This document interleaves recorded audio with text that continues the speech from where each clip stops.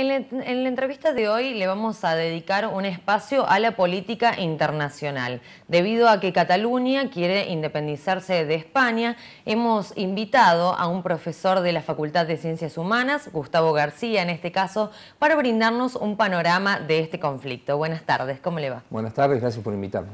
Gracias a usted por haber venido. Y bueno, ya hemos presentado el tema, vamos a hablar un poco de lo que está sucediendo en España. En primer lugar, repasar cuáles son los argumentos por los cuales los catalanes quieren independizarse de España, ¿no? Claro, bueno, en realidad son una serie de acontecimientos. Eh, quizás, bueno, como eh, más allá de las cuestiones históricas que eh, los principales grupos que llevan adelante esta, esta iniciativa política están esgrimiendo, se considera que hay un malestar económico de fondo, hay, una cuestión económica vinculada al fondo que tiene que ver con la crisis digamos, que se vivió en Europa desde el 2008, crisis mundial, en realidad, que generó, digamos, eh, o empoderó a estos grupos que frente a las crisis económicas empezaron de alguna manera a vincular eh, esos resultados negativos a la relación que tienen con el Estado español.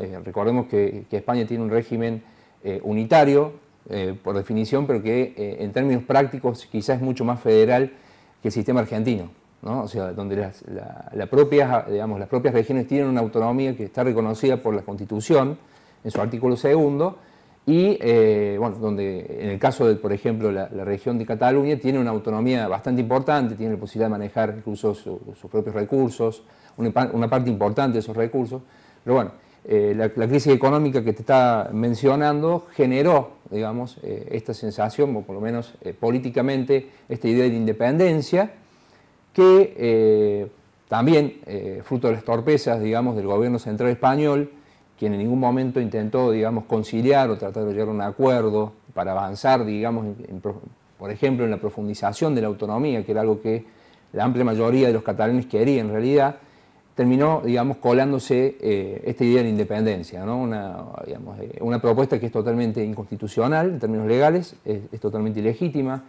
eh, fue manejada por el Parlamento catalán también de forma muy, si se quiere, autoritaria, digamos, o, en contra de lo que establecen las normas, aunque bueno, las imágenes que estamos viendo en estos días también, digamos, le permitieron, le dieron la posibilidad a estos representantes de utilizar el argumento de la independencia alegando eh, un intervencionismo español, ¿no es cierto?, la brutalidad de la, digamos, de la Guardia Nacional, ¿no? todo lo que estamos viendo, digamos, lo que muestran los medios de comunicación.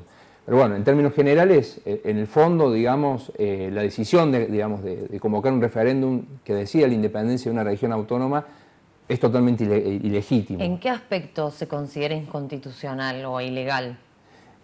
por un lado, bueno, la, la propia Constitución, si bien reconoce las autonomías, no establece la posibilidad de que éstas puedan declararse, eh, digamos, independizarse. ¿no? La independencia de las regiones no, está permitida. Eh, sí está, digamos, eh, establece la Constitución una especie de mecanismo que lo convoca el propio gobierno español y digamos, la, propia Corte española, eso serían las autoridades competentes, pero que obviamente requieren de todo un procedimiento que también debe ajustarse al, digamos, estatuto que tiene cada región, que en el caso de, Cataluña no, tampoco se respetó, eh, y que también digamos, debe garantizar la participación de todos los, sectores de la población con una mayoría determinada. Eh, recordemos que en la ley de, esta ley legítima y constitucional de la región que toma el Parlamento catalán, eh, se establece que por la, mayoría simple de votos, digamos, el gobierno estaría autorizado, el gobierno catalán, a declarar la independencia de, Cataluña. Pero, ¿Qué papel tuvo el presidente? Obviamente em, no supo cómo accionar ante esta situación y como un manotazo de ahogado, digamos, em, bueno, respondió con violencia, hubo una represión policial el, domingo, el día que se sometió a votación esta decisión, ¿no? Claro, justamente la idea del gobierno quiso, eh, bueno, fue la de evitarlo directamente el referéndum, ¿no? O sea, eh, desde el año 2010, eh, que es cuando, bueno, esta, esta idea de la independencia se empieza a imponer, el gobierno español no trató de frenarlo en todo caso, incluso terminó, terminó utilizando ese, intento autonomista eh, también en un marco de crisis general del Estado, crisis económica general del Estado, digamos, para imponer una postura, digamos, y de alguna manera generar una especie de bomba de humo para no discutir otras cuestiones o malas decisiones políticas que se tomaron, o sea, vinculadas generalmente con el manejo de la crisis económica. Nosotros veíamos en las imágenes que estamos pasando en simultánea la entrevista cómo los policías trataban de sacarle las urnas a algunas ancianas, o sea, se vio mucha violencia en esa situación. Pero por otro lado, ¿qué papel juega la monarquía en este conflicto? Eh, vi que el rey Felipe VI eh, dio un discurso al respecto. Claro, sí, en realidad la, figura del rey en el sistema, digamos, constitucional, político español, digamos, no tiene la trascendencia eh, que tuvo en otras épocas, ¿no? en realidad es el gobierno español el que tiene, digamos, la, máxima autoridad en estas cuestiones.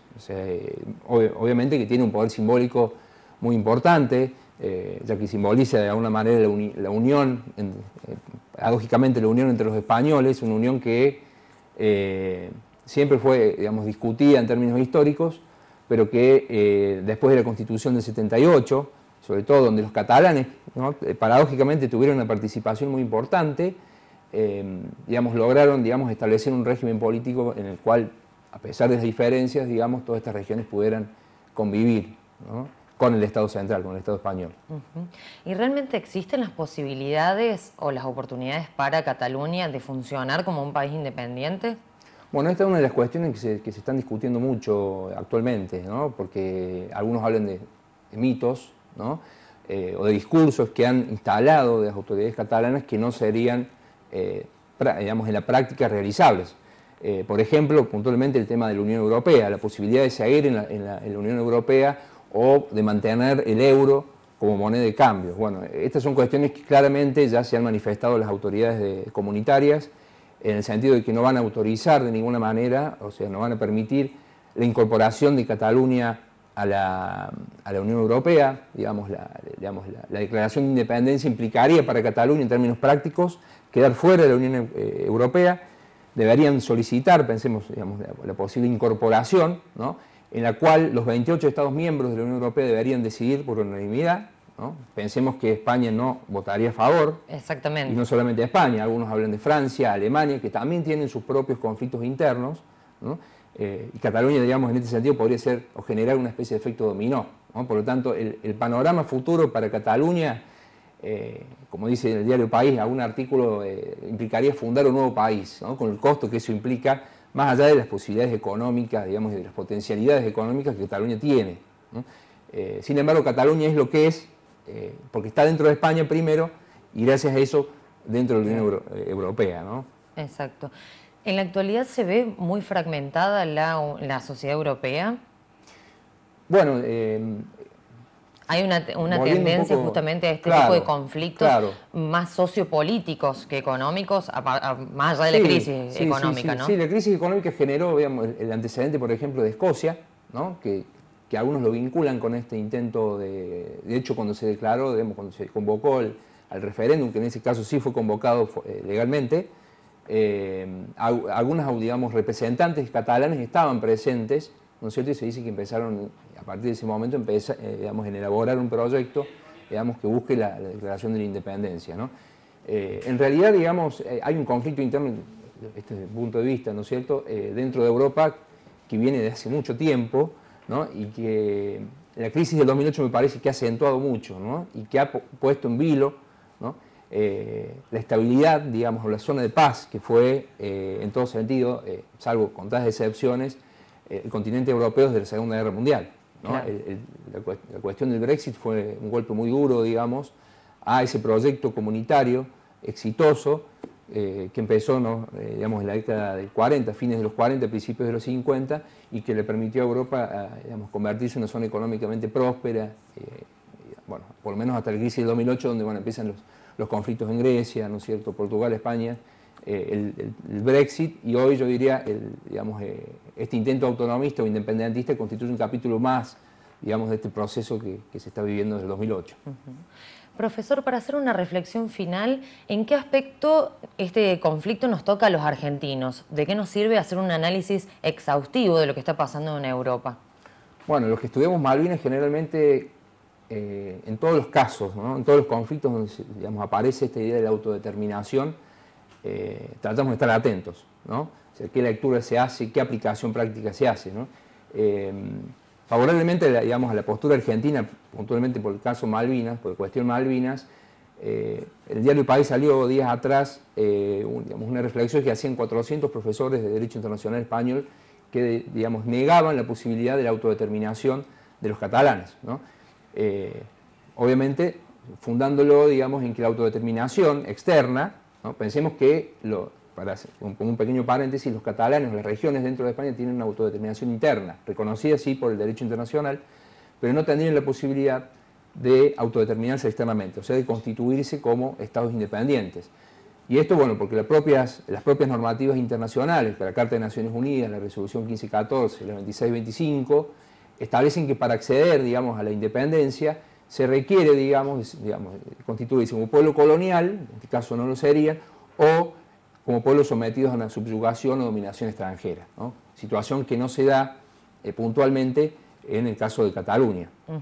Por lo tanto, bueno, yendo un poco más a la pregunta, eh, digamos, la autodeterminación en este caso, que eh, hablábamos eh, por detrás de cámara el tema del referéndum que se hizo en, las Islas Malvinas en el año 2013, que fue utilizado ilegítimamente también, se viene a repetir también en el caso de Cataluña. Digamos, hay un uso indebido, ilegítimo en términos de normativa internacional, de lo que es el derecho a la autodeterminación.